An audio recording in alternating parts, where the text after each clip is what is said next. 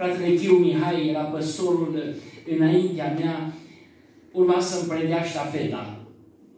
Eram împreună la un serviciu de mormântare a unuia care era unul din stâlpii bisericii. M-a surprins fratele Mihai în lacrimi. Mi-a spus, Olmi, o să te obișnuiești și cu asta. În viață te obișnuiești într-adevăr cu multe lucruri.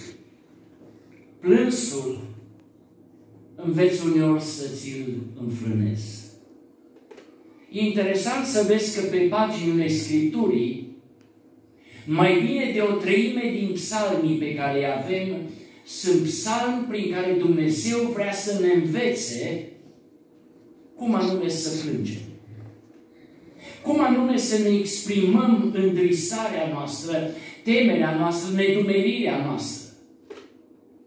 Psalmi care caută să, să fie o lecție pentru noi. Când se naște o prăpastie între durerea noastră și dragostea lui Dumnezeu, cum am putea să o trecem?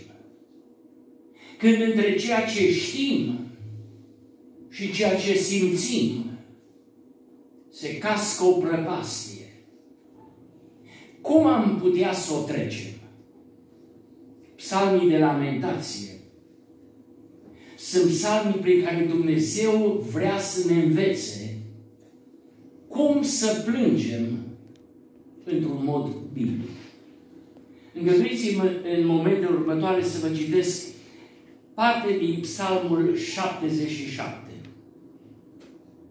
Strig cu glasul meu către Dumnezeu, strig cu glasul meu către Dumnezeu și El mă va asculta. În ziua necazului meu caut pe Domnul. Noaptea mâinile îmi stau întinse, fără curmare. Sufletul meu nu vrea nicio mângâiere. Mi-aduc aminte de Dumnezeu și ce? Mă gândesc adânc în mine și mi se măgnește Duhul. Tu îmi ții pleoapele deschise și de mult ce mă frământ nu pot vorbi. Mă gândesc la zilele de demult, la anii de odineoară. Mă gândesc la cântările mele noaptea, cuget adânc înăuntru inimii mele, îmi cade Duhul pe gânduri și zic, va lepăda Domnul pentru totdeauna? Și nu va mai fi El binevoitor? S-a isprăvit bunătatea Lui pe vecie? S-a dus făgăduința Lui pentru totdeauna? A uitat Dumnezeu să aibă milă? Și-a tras El în mânia Lui înapoi îndurarea? Atunci îmi zic, ceea ce mă face să sufăr este că dreapta celui prea înalt nu mai este aceeași. Dar tot voi lăuda lucrările Domnului, căci îmi aduc aminte de minunile tale de odinioară. Da, mă voi gândi la toate lucrările tale și voi lua aminte la toate isprăvile tale. Amin. Amin. Nu știm care a fost necazul lui David. Nu știm care a fost încercarea prin care psalmistul a trecut. Dar într-un psalm ca și acesta suntem învățați ce anume să facem. Când există o prăpastie între ceea ce știu și ceea ce simt. Și psalmistul ne spune, într-o astfel de împrejurare, apropie-te de Dumnezeu în ziua necazului tău. Dragii mei, fiecare din noi avem propriul nostru necaz. Nu ne putem compara cu fratele Petrică, nu ne putem compara cu ceilalți din familie, dar dacă coborâm adânc în sufletul nostru, fiecare din noi avem propriile noastre necazuri.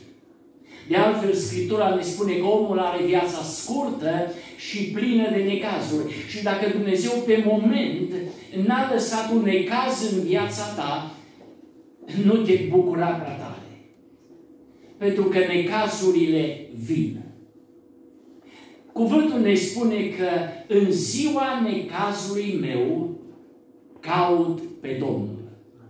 Și, dragii mei, e primul lucru pe care trebuie să învățăm să-l facem.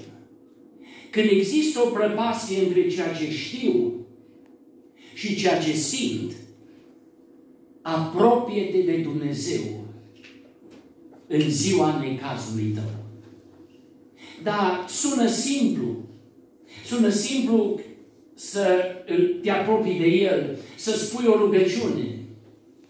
Dar e mult mai greu atunci când ai sentimentul că te rogi sub un clopot de sticlă. Sunt oameni care în ziua necazului se răzvrătesc, sunt alții care se resemnează și spun așa e viața. Copiii lui Dumnezeu însă se deosebesc prin faptul că în ziua necazului lor ei se roagă. Nu, rugăciunea nu este cel mai simplu lucru. Adeseori ne rugăm și avem senzația că nimeni nu ne ascultă. Psalmistul spune, stau noaptea și îmi întind mâinile. Îl caut pe Domnul. Și parcă Domnul e departe de noi. Psalmistul spune, în ziua necazului, caut pe Domnul. În altă parte, în Scriptură, mi se spune, cheamă-mă în ziua necazului. Și, dragii mei, dacă aici pe pământ există un sistem național al apelului de urgență, apelul de urgență al lui Dumnezeu este Psalmul 51. Cheamă-mă în ziua necazului. Cheamă pe Dumnezeu. Apropie-te de Dumnezeu. E trist când sunt oameni care se apropie de Dumnezeu doar în ziua necazului și îndrăznesc să spună că cine așteaptă ziua de necaz ca să se apropie de Dumnezeu, mă tem că nu știe drumul într-acolo. Al doilea lucru pe care suntem îndemnați să-l facem atunci când se cască o prăpastie între ceea ce știu și ceea ce simt, este abordează-L pe Dumnezeu cu nedumeririle tale. În psalmul pe care l-am citit, psalmistul se frământă cu câteva întrebări și sunt vreo șase întrebări la număr. Erau frământările unui om care se întreba oare s-a terminat îndurarea lui Dumnezeu? Și-a tras el pentru totdeauna mâna? Dragii mei, noi ca și oameni nu ne mulțumim să acceptăm lucrurile așa cum vin ele. Noi suntem creați de Dumnezeu, făcuți să căutăm sensul lucrurilor. Nu ne mulțumim doar cu ceea ce se întâmplă, vrem să aflăm de ce se întâmplă ceea ce se întâmplă. Și așa cum se spunea înainte, nu întotdeauna Dumnezeu se angajează să ne răspundă la toate deceurile noastre. De altfel, mintea noastră nu-L poate cuprinde pe Dumnezeu. Și dacă Dumnezeu ar trebui să ne explice de ce, și dacă noi am reușit să putem să pricepem, mă tem că mintea noastră ar fi propriul nostru Dumnezeu. Mai mult, noi nu suntem făcuți să trăim prin explicații, noi suntem făcuți să trăim prin promisiunea lui Dumnezeu. Explicațiile de orice fel n-ar putea să-l mângâie pe fratele Petrică. Mai întâi că nu le-am putea pricepe.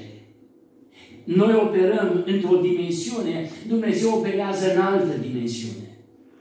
Dar cu toate acestea, într-o astfel de vreme, Psalmistul spune, abordează-L pe Dumnezeu cu nedumerirea ta.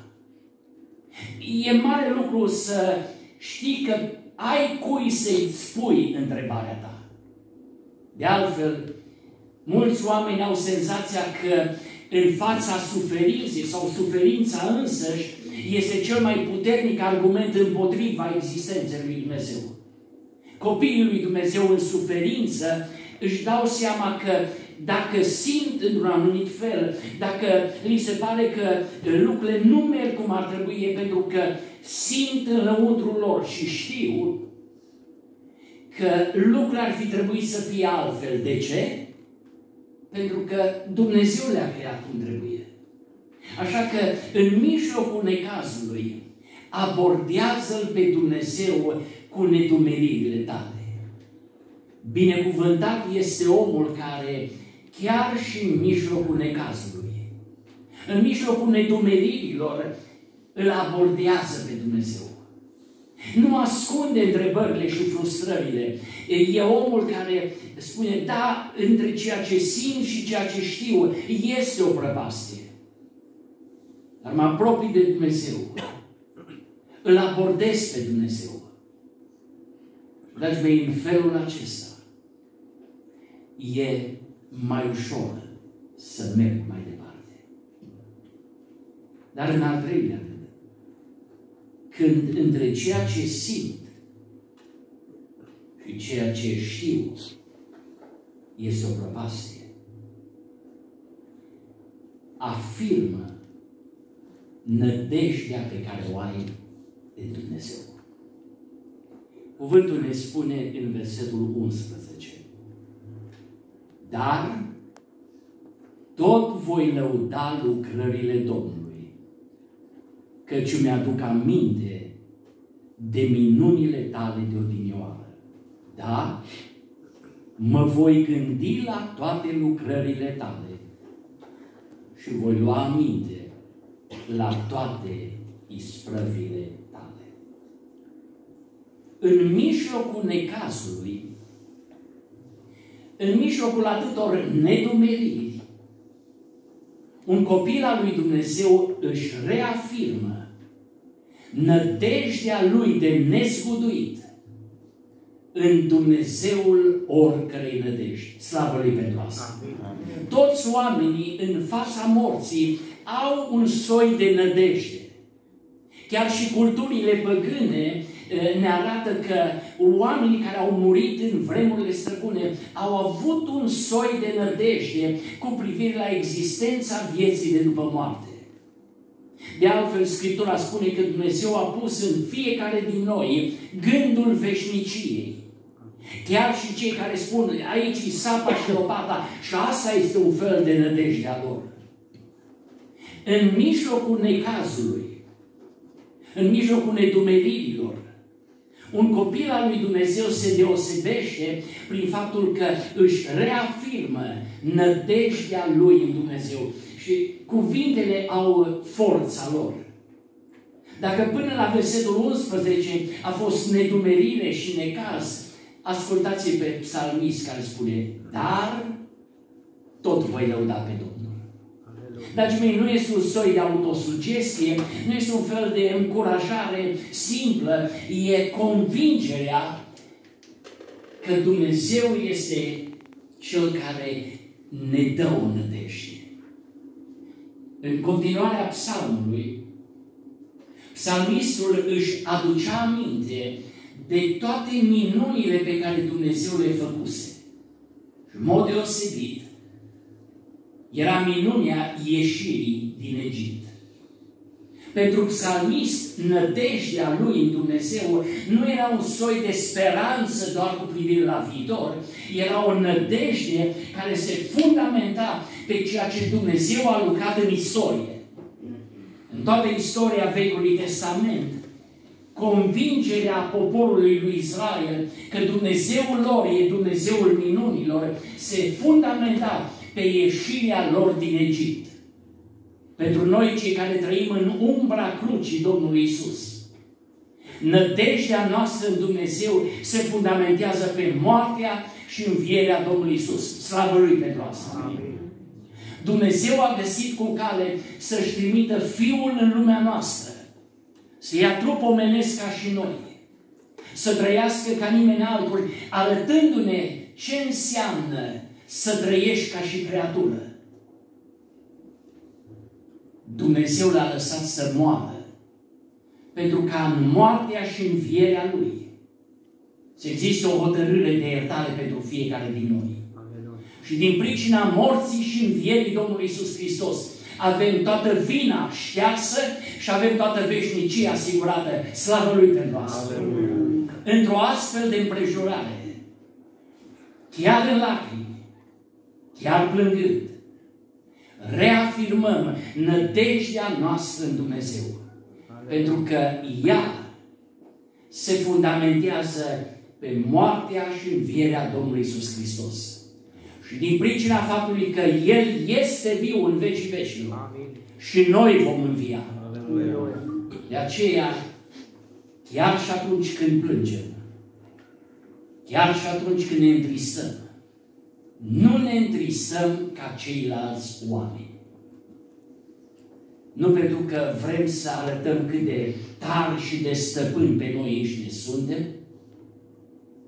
vrem să arătăm înspre Dumnezeul care ne-a dat o nădejde. Nădejdea noastră este vie, pentru că Hristosul nostru este viu în vecii vecilor. Amin. Amin.